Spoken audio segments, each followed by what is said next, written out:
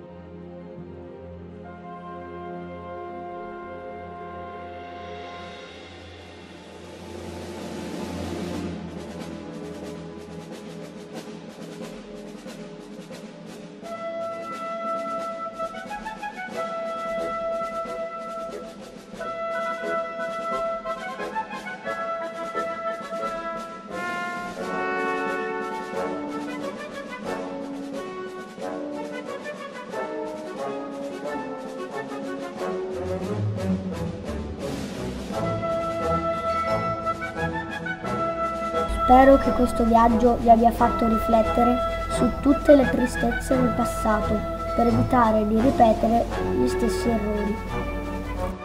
Ora noi siamo ancora piccoli, ma il futuro è nelle nostre mani.